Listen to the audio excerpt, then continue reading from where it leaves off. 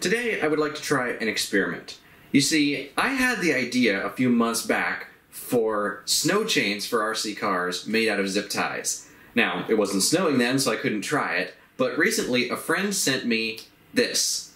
It's a thing from Walmart that is basically the same concept, but in full size. You basically wrap these zip ties around your tires, and they're supposed to give you better traction in the snow. Now, I have no idea how well this works in real life, I haven't tried them, but I thought I would give it a try on an RC car, and I figured I would use the one that gets stuck in the snow the easiest, which is my two-wheel drive Traxxas Slash. Now we've also seen how well this car does in the snow in the previous video, and it's not terribly well.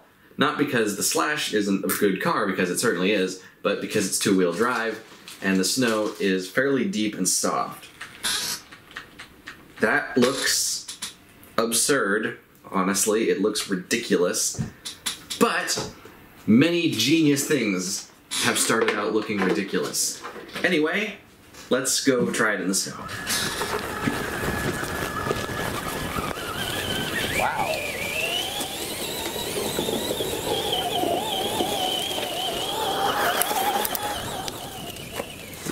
I am amazed. These totally work.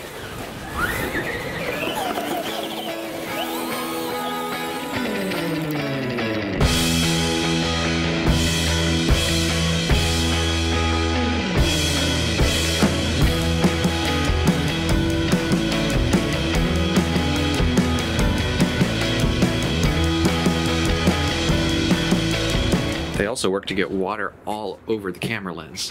What if I move this to the center so that they stick almost straight out?